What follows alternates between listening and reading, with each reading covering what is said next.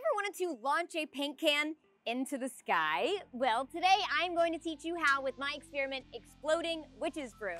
Hi everyone, I'm Emily Calandrelli, MIT engineer and host of Emily's Wonder Lab. And on my channel, we get to talk about all things space and science. So grab your paint cans and get ready for an explosion.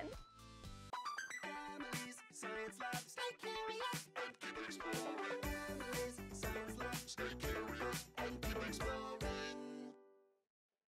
Make your exploding witch's brew, aka paint can rocket, here's what you need. A metal paint can with the lid, one cup of baking soda, one cup of vinegar, a rubber mallet, and some safety glasses. Eventually, we are going to mix our baking soda and vinegar in our paint can. But first, I wanna show you what that's going to look like. So here, we have a see-through paint can. We are going to add one cup of baking soda into our paint can and one cup of vinegar right on top. It's going to sit in a plastic cup and we're gonna nestle it into the baking soda. And that's going to stay that way while we hammer on our lid really good and tight. You want a tight seal. And then eventually we are going to flip over our paint can and the baking soda and the vinegar are going to mix together. That kickstarts an acid-base chemical reaction that creates carbon dioxide bubbles. Let's see what that looks like. Ooh, Okay, see all of those carbon dioxide bubbles building and building and building and building. Now, just imagine what would happen if the lid were on nice and tight. What do you think would happen to this paint can? Let's see it in action. Now we are going to make our paint can rocket, AKA our exploding witch's brew. So get your paint can, set it down on a flat surface. Parents and adults, let's do this one outside. And because we are dealing with exploding paint cans, we need to exercise caution here. Go ahead and put one cup of baking soda in the bottom of your paint can. One, two, three. Shake it around so it's flat. Now we're going to add one cup of vinegar to a plastic cup. Now very carefully, so that they do not mix, place it gently on top of your baking soda. And the way that I do this is I sort of circle it around, creating a little bowl in the middle so that it holds on to that cup right there and it won't fall over. There we go. Now for the exciting part. It's at this point where you need to put on your safety goggles like this. Now get your lid and we are going to hammer this on nice and tight. So I like to do a star formation where I just hit this in the pattern of a star.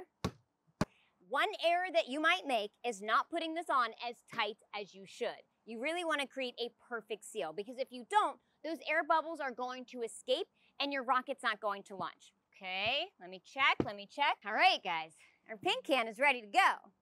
In fact, it's ready to blow. Are you ready to flip it over?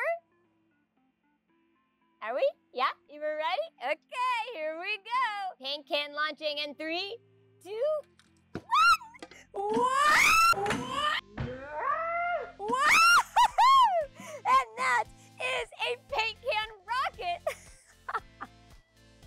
Okay, we are going to make another paint can rocket, but this time we're going to do things a little differently. I'm going to use half of the baking soda and half of the vinegar to see if that changes anything. I'm trying to make my paint can go even higher. We'll see if that makes a difference.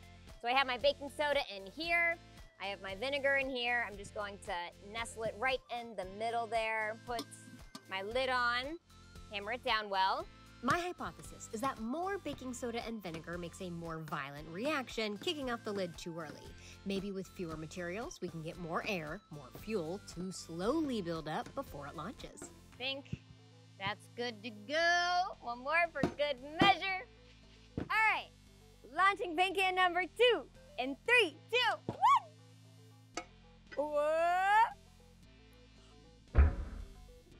Whoa. Paint can rocket launch? Well, that acid-base chemical reaction inside made those carbon dioxide bubbles. And those bubbles were building and building and building. And so the pressure inside your paint can was also building and building and building until the lid couldn't take the pressure anymore and it popped off, sending all of that air rushing downwards. And because of Newton's third law of motion, for every action there's an equal and opposite reaction, our paint can went upwards.